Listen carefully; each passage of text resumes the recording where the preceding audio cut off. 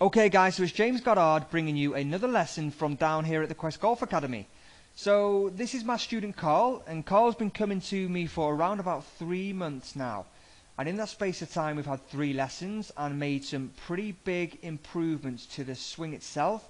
But also, Carl's been seeing some pretty drastic changes and improvements to his scoring on the golf course. Which is ultimately is what we're trying to do.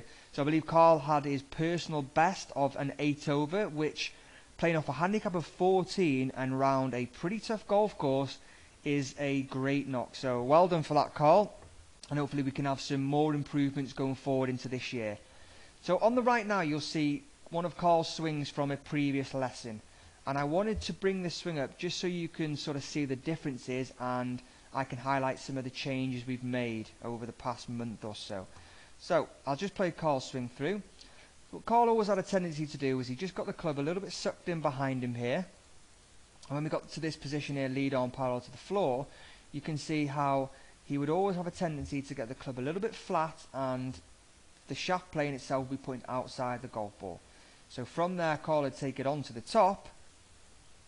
And I just want you to pay particular attention to this position here, so this lead wrist. So Carl would always have a tendency again to get the swing a little bit long, mainly due to this position. And if I just start him down, you'll see how the shaft gets a little bit steep. And last parallel to four, the club is now outside the hands, which with uh, he had a result in, in an open club face. So that resulted in a ball flight that was very weak and always started left moved right. So Carl's been working pretty hard over the last month or so on these basic backswing movements and we wanted to pro progress that forward today and talk about lead wrist conditions. So, this was one of Carl's first swings today. So you can see it now at first position here. The club's a little bit outside of his hands, but I did make Carl aware of that, and that's something he's just going to keep an eye on in the future. But a much better position rather than being sucked inside here. So if we take him to lead arm parallel to the floor, you can see that the club is in now is in a much better position. So he sets the club in a great position here. And today's the point of today's lesson, if I just scroll this one back here, I asked you to pay particular attention to that lead wrist on the right hand side, and for good reason.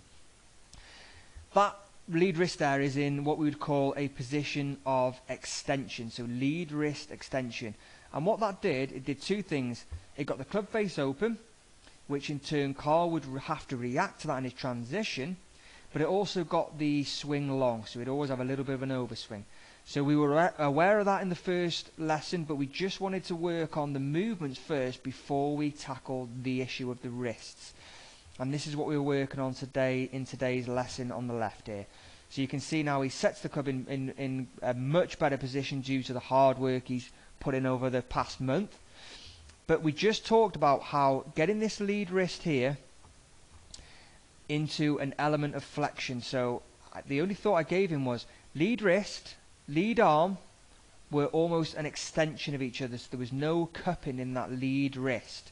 You can see here, if I scroll him back at this point here, you can see how now he's got a bit of a cup in that lead wrist, whereas there, it's pretty much flat.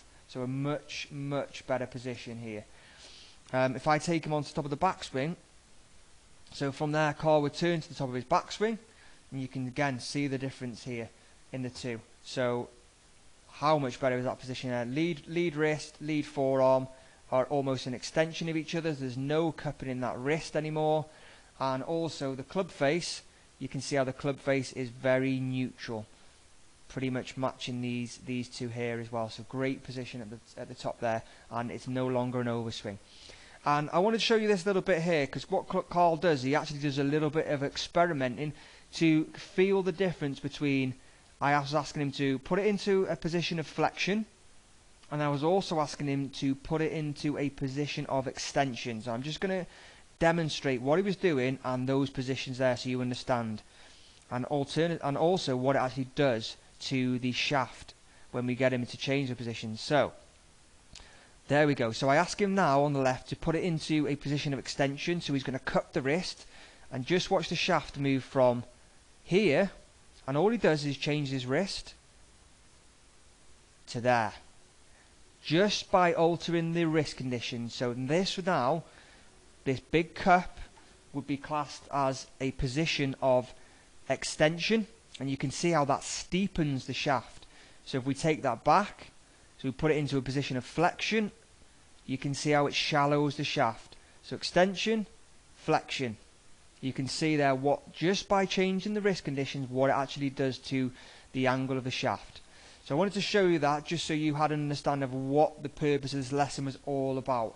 I'll just bring in one of Carl's last swings of the day. So we didn't hit a ball here, but you can see the improvement is massive. So he sets the club here, and now you can see our lead wrist and lead forearm are together as one. He takes uh, takes him on back onto the top of his backswing, and the difference there between the two is just astronomical. It's on the other other side of the scale. So great position at the top. Lead wrist, lead forearm are as, are as one instead of this versus this. We've now got this. So great position.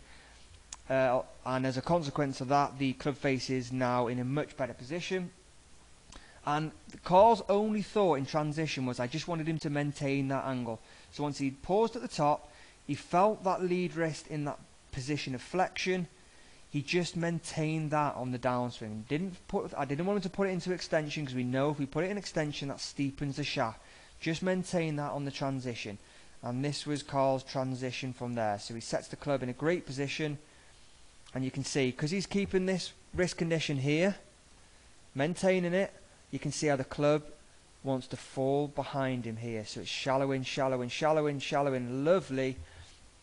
And he sets the club here in a great position. And from there, he can simply just turn on and through. So he just rotate his body through the hitting area. Great release. That's a fantastic release. So huge improvements to Carl's backswing and transition. Carl's swing is actually coming on really nicely. I'm excited to see the progress when he when he comes to see me next week. Um, guys, let me know what you think of these changes. I hope you understand them. Please drop any comments if there's any sort of element of uh, a lack of understanding. I'd be more than happy to answer your questions. Uh, again, please subscribe to the channel and follow me on all my other social media platforms.